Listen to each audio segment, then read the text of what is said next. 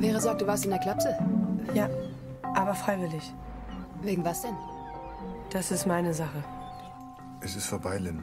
Ich habe eine Freundin, Lynn. Ja?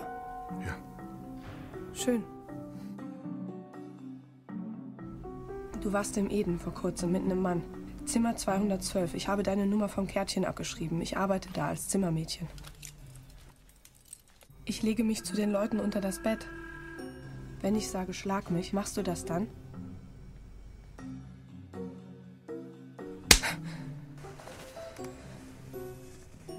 Rufst du mich wieder an?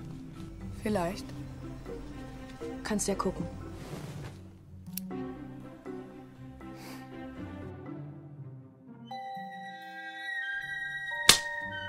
Nur weil man den Staub nicht sieht, heißt es nicht, dass er nicht da ist.